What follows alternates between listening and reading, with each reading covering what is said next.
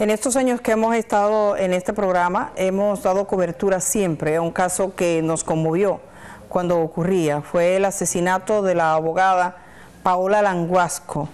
Paola Languasco un día acompañó a un sujeto que conoció, Nepomuceno Rodríguez, y este la mató de una manera horrible. Ese fue un crimen muy violento, muy cobarde y muy vil por pura casualidad, porque ella se tomó una fotografía y la mandó a una pariente, se pudo saber que fue la última persona con la que estuvo mientras tenía vida. Ahí están viendo la imagen de Nepomuceno. Él escapó del país, se fue, recorrió varios países, fue arrestado, se escapó una y otra vez hasta que finalmente fue traído a la República Dominicana. A la derecha, Paola, una abogada brillante que corrió una suerte horrible. Este hombre tenía antecedentes penales. Hay otra fotografía de ellos, que fue la fotografía donde a él se le ve el tatuaje. En esa imagen, esa es la última imagen que ella captó y dijo hacia dónde iba, había sido trasladada en un taxi que también dio su testimonio. Esto ocurrió en el año 2015. Este es uno de los casos que muestra lo duro y difícil que es para las familias conseguir justicia. Son años y años detrás del sistema judicial para que los casos culminen. Nosotros veíamos recientemente el asesinato de un fiscal en Colombia y ya los que mataron al fiscal están condenados. Aquí estos casos se van para largo. Uno de los cómplices que ayudó a trasladar el cuerpo y que tuvo una participación directa fue arrestado, dio su testimonio y fue condenado a 20 años de prisión. Esa persona ahora, después de 7 años, ha ido a un tribunal, a una corte de apelación a tratar que le varíen su medida de prisión, 20 años. La corte ha desestimado la solicitud, por lo tanto está ratificando la condena.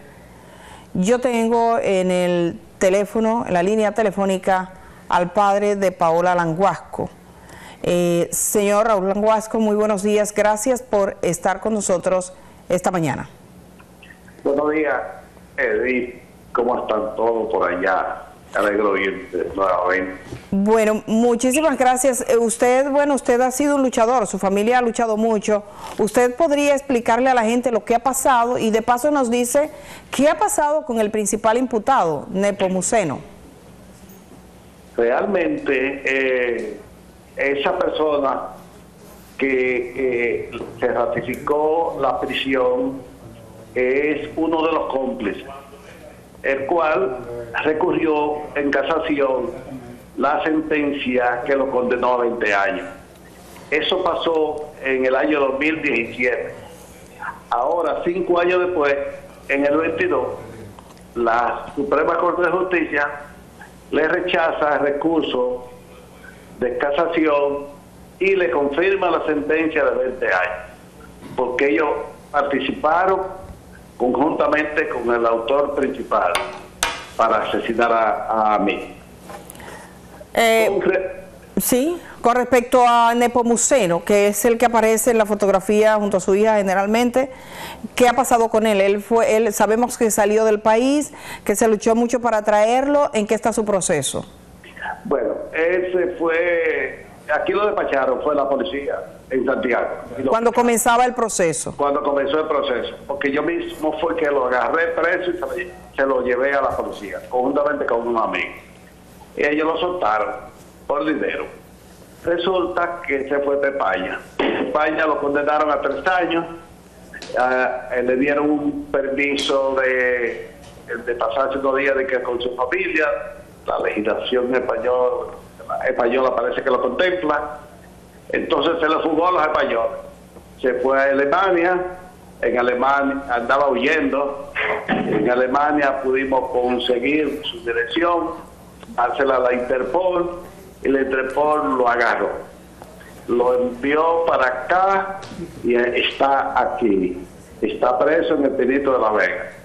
Pero parece que eh, es difícil condenar a una persona. Tiene, ese caso tiene como siete años.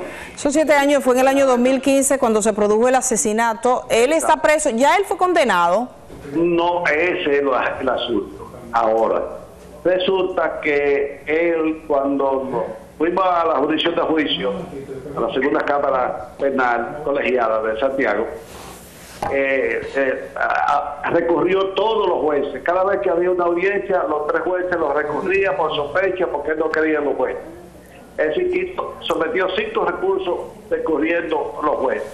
Y los jueces lo complacían, volvían y fijaban la audiencia, todavía recogía los jueces. Y lo complacían. En cinco ocasiones lo hizo. Y lo último ya, porque no encontraba, que, no encontraba qué hacer. Recurrieron a todas las jurisdicciones de Santiago. Como que no, porque le tienen temor a todos los jueces de Santiago, no creen los jueces, la justicia de Santiago, quiere que le manden para otra jurisdicción. Y recurrió y ese caso ahora viene la Suprema. Tiene como tres años, dos años ahí, y no lo fallan. Lo fallan para que decidan, que lo manden a, a juzgar tanto o lo ratifican en Santiago lo manda para otra jurisdicción. Parece que no encuentra jueces para comprar. Está buscando la manera de comprar jueces, de buscar la manera o de escaparse. Porque lo que está jugando es el tiempo. Entonces, Nepomuceno Rodríguez, que es la, la, imagen que hemos estado mirando hace un rato, el que estamos ahora conversando es con el padre de la abogada. Él está preso, pero hay una, una, un recurso que está ante la Suprema Corte de Justicia y que lleva más de tres años, dice usted. No, no tres años. Es decir, que el recurso se sometió hace como un año. Ah, ya. Eso, o seis, no recuerdo. Eh, ¿Qué busca eh, él en la Suprema? ¿Qué él está pidiendo? Ah, no, que recurriendo la jurisdicción de Santiago completa, que no lo, que su caso no lo conozca la jurisdicción de Santiago, que lo manda para otro pueblo. ¿Este hombre ha dado muestra de arrepentirse de lo que hizo? No, no, no, no, es lo que dice que, que, que, nos arrepintamos nosotros. Pero él, él ha reconocido que la mató. Pero él no, no, no ha llegado ahí a reconocerlo. Pero los mismos presos los cómplices dijeron que fue él que la mató. Eh, eh, recordemos así brevemente, en, en, un minuto, a la gente que está en sintonía y que quizás no conozca este caso, aunque le hemos dado mucha cobertura. ¿Qué fue lo que pasó con Paola Languasco y quién era ella? Bueno, eh, Paola, en una ocasión, estando aquí en la capital, dos amigas andaban con, con Ambiori. Y él él estaba huyendo de que había matado uno en San Francisco en esa época, en el 2015. En el 2011 lo había matado y andaba huyendo, para acá, en la capital. Y ah. andaba con dos amigas de Paola. Y la llamaron para ir a cenar. Salieron a cenar, ahí ella lo conoció. Eh, después que lo conoció, parece que se cambiaron de teléfono. Pero como él ya andaba huyendo y tenía residencia, se fue para España mas nunca se volvieron a ver. Pero resulta que volvió en el 2015.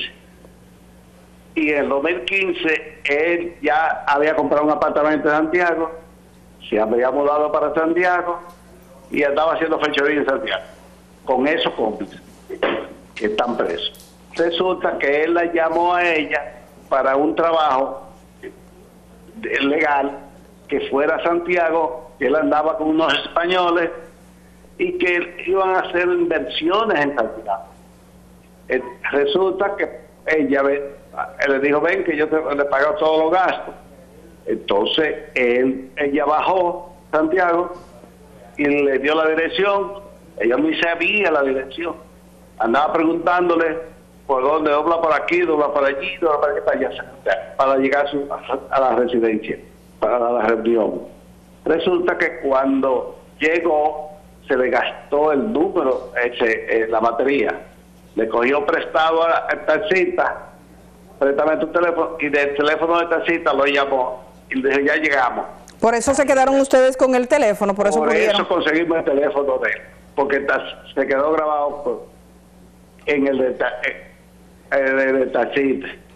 Entonces, cuando ella entró un apartamento, que era una que es que es una cárcel, sé si lo ha cambiado, porque en todas las habitaciones había hierro. Eh, si tú entrabas al baño era un portal de hierro, en, una habitación hierro, parece un sitio para secuestrar personas. Y cuando ella llegó, él no la dejó salir más de ahí. No había ni reunión, lo que había era asunto, eh, eh, y, y entonces llamó a los amigos, ellos querían violarla, él principalmente, ella se le reveló y él le desbarató la cabeza con la pistola, primero, después la tiró en la cama, le dio un tiro, ese tiro está patentizado, pasó el colchón lleno de sangre, el apartamento lleno de sangre, entonces los cómplices y él fueron a buscar un carro para extradarle, la metieron en una alcantarilla cerca de donde él vivía, en los jardines del norte. Eso fue lo que pasó ahí. Usted, Ella ni siquiera lo conocía bien. Sabemos que Fue usted... trabajar. Sí, su- hija era abogada, estaba trabajando en ese momento, Sí, era abogada en ejercicio, conjuntamente conmigo. Yo tengo una oficina. Yo soy abogado también, de una oficina. Sí, hemos entrevistado varias veces al padre de Paola Languasco, hemos tenido comunicación con su hermano, ellos tienen ya siete años, porque esto ocurrió en el 2015. ¿Qué tan duro es para una familia? Siete años procurando justicia y cada vez, cada vez eso se renueva en los tribunales si no hay una sentencia definitiva. Siete años y bregando, gastando la existencia. Eh, siete años detrás de este caso. Porque él está preso porque prácticamente nosotros fuimos que lo agarramos allá. Y, y buscamos la pista lo sacó al Interpol, el Interpol lo agarró y lo echó para acá. Le agradezco, señor Languasco. Lamento mucho que esa familia, su familia, haya tenido que renovar una y otra vez. Ahora acaban de confirmar la sentencia de 20 años de uno de sus cómplices que estuvo ahí, participó en el ocultamiento del cadáver y demás. Y se sigue a la espera de que la Suprema Corte de, de Justicia quite el obstáculo que hay ahora legal para seguir con el proceso y determinar cuál será la sentencia del principal imputado, Nepomuceno Rodríguez. Gracias por estar aquí esta mañana. Gracias a ustedes. El Dios abogado, eh, el abogado eh, padre de Paola Languasco que ha hablado con ustedes esta mañana. Le agradecemos que haya estado aquí. Vamos a la pausa y regresamos de una vez. Qué duro puede ser para algunas familias en el sistema lograr justicia. Este caso lo muestra.